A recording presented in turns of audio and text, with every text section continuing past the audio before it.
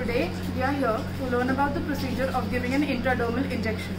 With us we have a one day old baby who is here to take her BCG vaccine. The BCG vaccine is given intradermally over the left arm in the deltoid region.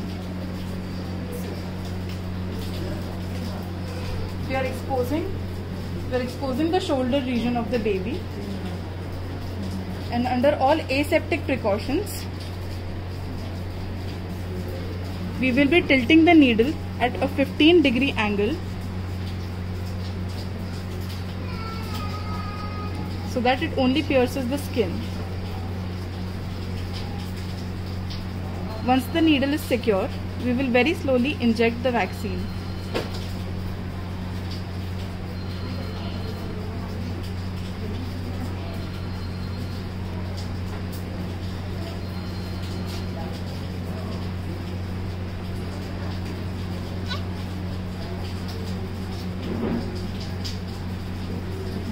Now hold the swab in place for a few seconds.